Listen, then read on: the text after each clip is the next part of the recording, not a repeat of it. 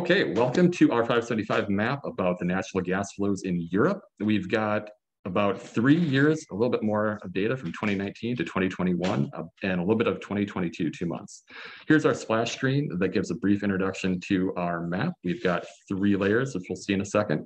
Our choropleth of annual net imports of gas for each country in Europe, our routes of principal pipelines, and the location of where those gas flows go across the country plus a couple of re-expressions. So let's get into it.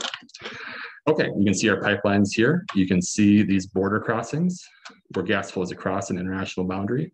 And you can see our choropleth in the back here, which shows us the net imports. So Germany, the big economic powerhouse of Europe, it's red, which means it's a big importer. Norway, it's a little bit bluer. It's an exporter. And in between, we've got Belarus and Ukraine, which are big transit companies, countries. They also have a negative volume of gas going through them, which means that they are a negative net importer or an exporter. So we can compare between each of these countries and see where they are. We can rank them. If we look at the color over here on the legend, we can, on the toggle over here, or the menu over here, we can toggle our base layers for different overlay. We can toggle on the different layers. So get whatever overlay we want to do. We've got a drop-down menu so we can select a given year and month, and we can update the proportional symbols here. You can see the change in size.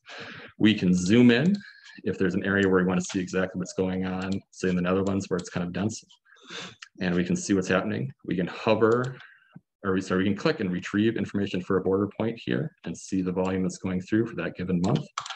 And on the choropleth, we can also do a retrieve by, we're going to zoom out first though, and we're going to turn it on and we can hover over and you'll see, again, we can retrieve the specific information about the uh, net import that they have.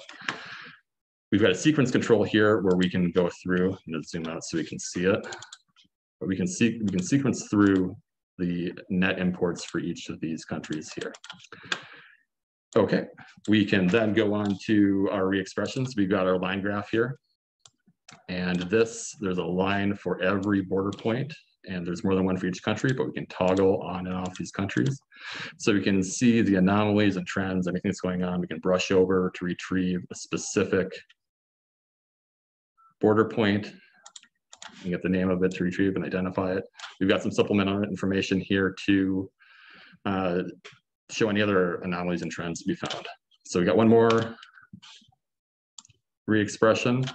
So these are the proportional symbols by GDP. And this shows the color here shows the uh, the net imports, and again, or the export, depending on how you look at the positive number, negative number. You can hover over it to retrieve the specific data that's for whichever month we have filtered for. We'll see it bounce around there. So again, we can identify the, uh, the country we're looking at there too. So we also got some simple information to see some other analysis, um, any sort of trends anomalies there for a deeper details on demand if we scroll down there. So our final thing here is our about. This tells you where we got our data from. We got it from the IEA, International Energy Association, as well as the ENTSOG, European Network of Transmission System Operators for Gas. There's a big, great map here. Uh, we wrote a big SQL query to get all this data onto our map that took a lot of time. The original data sets here, and that's it. Thank you.